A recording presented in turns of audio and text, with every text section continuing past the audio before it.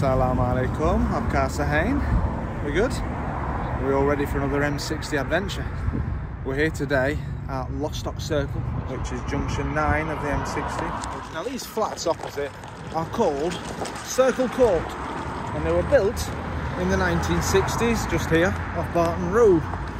And when I've googled it, looking for a bit of history, it says they're in need of much modernisation and there was even talk of getting the 173 residents out of here and rehoming them. So I'm not sure if these flats are still open or not. If you go on YouTube and type in Circle Court, you will find videos of people lift surfing in this block of flats. That's when people get on top of a lift and ride it up and down the elevator shaft. I bet from the top of here, you've got a fantastic view. Wouldn't it be fantastic if we could get in and go and explore?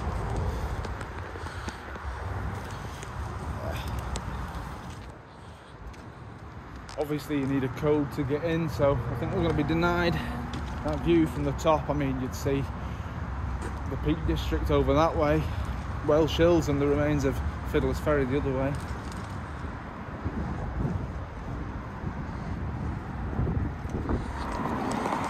As we quite often do, let's have a little look at the map of the local area. M60. Trafford Centre's just here, Trafford Park.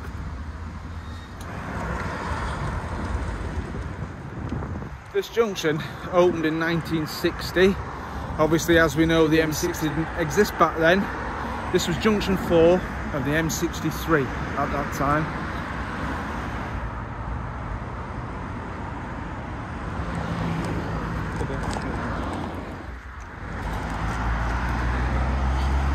This walk was sort of thrown on us this morning. I've not really planned a route and I've not done any research, so we're just going to wing it, have a mooch, see what we see. If I'm honest, I wanted to go on the other side of Lostock Circle and head round to the Trafford Centre that way, but hey ho, let's just see if we can get across this road here now. Now then, little child welfare check. Have you got your warm booties on? Yes, you have. Are you dry? Yes, don't shake your head. because the comment police have been on at me.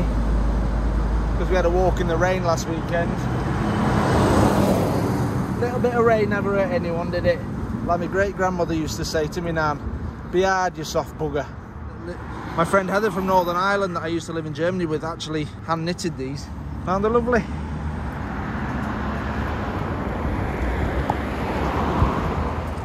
you go. Can see the famous cupola, or one of the cupolas, over there on the Trafford Centre.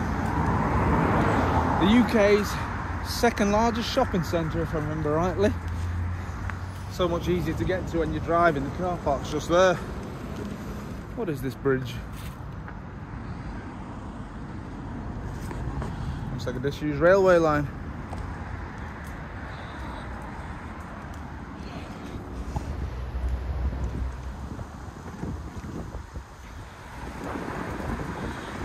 Third largest shopping centre actually. Opened in 1998.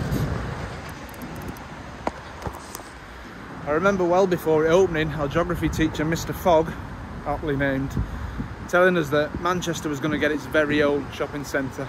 Because before that you have to go to places like Leeds to the White Rose Centre, or, or what's the one up in Newcastle, the Metro Centre. A week before it opened, my nan and granddad came down thinking it had opened. And the builders were still there with the hard hats on finishing the place off. And anyway somehow my nan and granddad ended up wandering into the Trafford Centre like why is everything shut? And what's that other one down in uh, Birmingham? Star City. I must say 10 out of 10 for the architects who designed the Trafford Centre because it's pretty timeless. It's a proper like Italian Baroque style isn't it Nice with a bit of sunshine. Lovely and warm. Nissan Juke there though. I know we spoke last weekend about Lidl. We got some new walking boots from there, didn't I? 20 quid. Pretty decent. Look over Lily, a tram.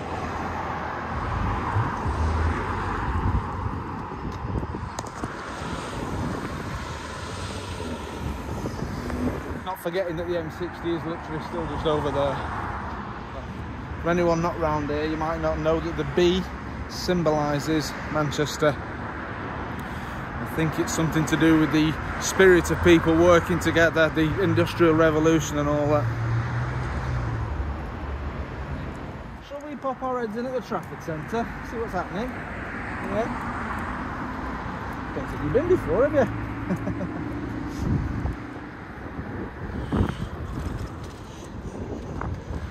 when the Trafford originally opened, what did I say, 26 years ago, none of this bit here existed. This was all built later where Primark is and Legoland and SeaWorld.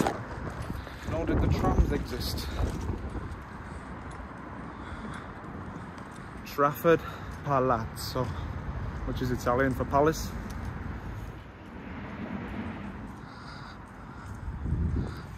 Oh, look baby girl. Look at the lions.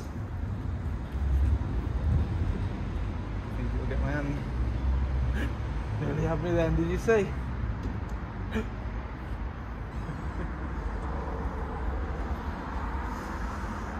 Smooth. So, shall we go in? Yeah, let's do it. While we were. Look at this baby girl. Look at those pretty lights. Fantastic. Literally full of statues of ladies with the norks out. Can you wave? Hey Lily.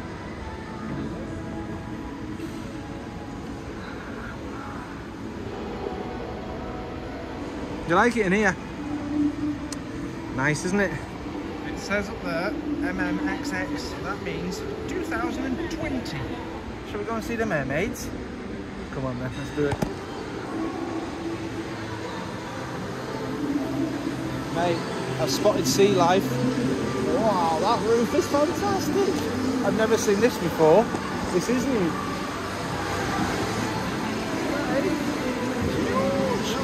Look at your little feet, mate. You're doing very well.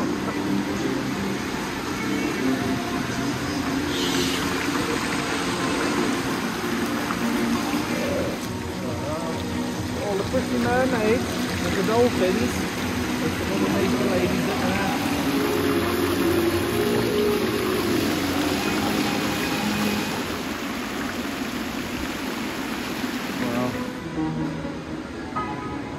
you know what? I've been to Mall of the Emirates, I've been to Dubai Mall, but this is just as good as either of them. Wow. It's a big car, isn't it? I wish I was a little bit taller. I wish I was a baller. I wish I had a girl who looked good. I would call her. Wish I had a rabbit in a hat with a bat and a 6'4 Impala. Right, we need to find the lifts to get upstairs. Across the glass bridge to the main bit and then out the other side. Mate, just spotted a Lego Yoda and a Kylo Ren. Who is it? A feisty one you are.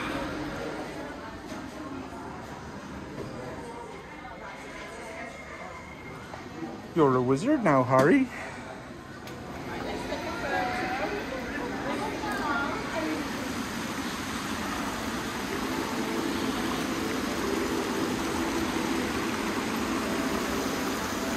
Nice bit of tail.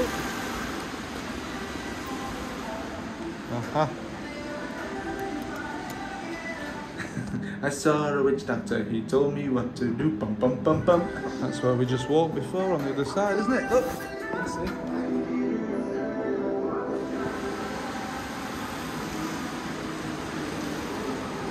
What a stunning place. Pretty sure that the last time I came to this bit, this was all open air and that dome hadn't been built. What a place. I love it.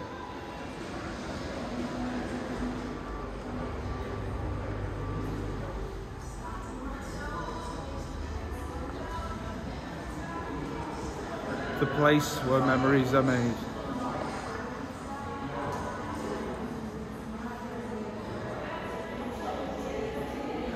Jurassic World. Aha. The closest you'll ever come to living dinosaurs.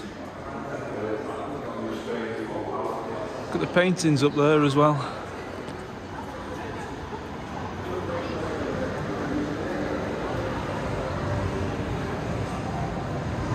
A lot of the shops that used to be here when I was younger are long gone.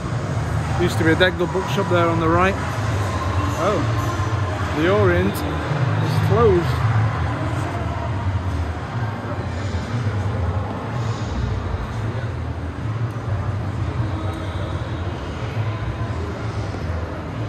Glass lift. Wow. Look at that view. Look out there. Wow. Can you see? See Selfridges and the big dome.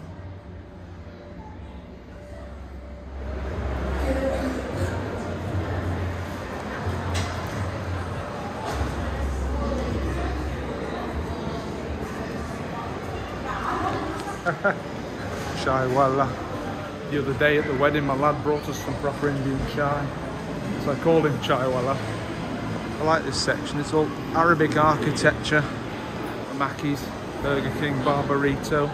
And then the section in the middle here looks like a big ship, a cruise ship. What do you reckon, missus?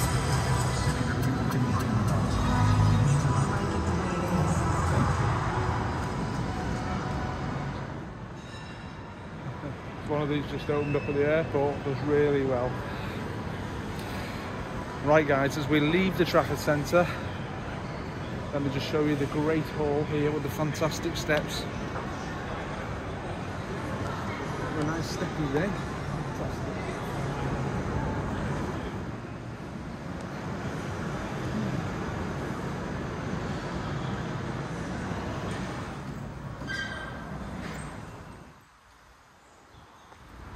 Enjoy that. I think that was your first time at the Trafford, wasn't it? Hold fast, that which is good.